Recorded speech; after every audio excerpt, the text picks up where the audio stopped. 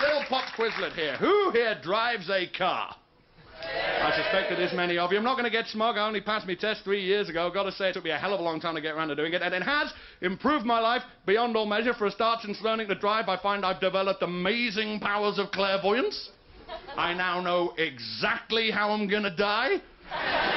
Some 16-year-old smackhead in a Burberry cap and somebody else's Fiesta's going to get me. And the odds are getting better every day. But uh, let, me, let me refine my earlier question in a kind of a Google fashion. Of those of you here who do indeed drive a car, who here drives a BMW?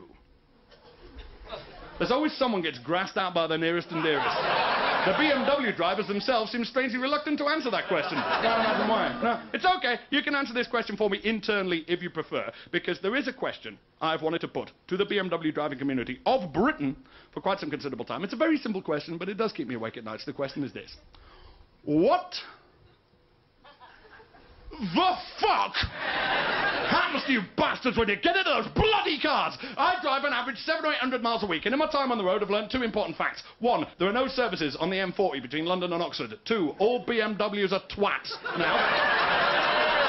The risk of spreading dissent in what has thus far been a very friendly room I'd like to clarify that statement. You may notice I didn't actually just say all BMW drivers are twats. I'm willing to believe BMW drivers may well, in their own private time, be perfectly nice, normal, reasonable, happy, balanced individuals until they get into their bloody cars whereupon something weird happens up here. It's the cars. The cars are evil.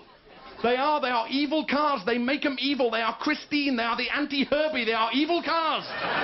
they mess with your mind. They do. You get in, you get comfy, you close the door, you strap yourself in, you're full of nothing but nice thoughts and love for the whole human race, and the car starts whispering.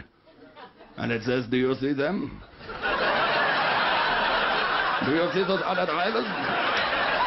Do you see those people that are driving cars that are not BMWs? You see them? Hmm? Yeah, you see them? Well, school them, school them all. You must not take them into account on any level. Cut them up, overtake them on the inside, pull out in front of them without indicating such trifling matters as box junctions on traffic lights do not apply to you, for your driving das Uber Auto. All other drivers are intimates. Were this not the case, they also would be driving a BMW.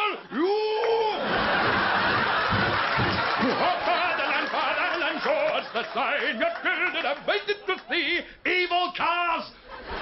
Get you to the radio, my friend. That's how it gets you. Right there. It's the Blaupunkt. That's how it gets you. And it's subliminal. I don't care. You don't really have five live on the go. All right? Coming underneath it directly into your subconscious, there is. Funny,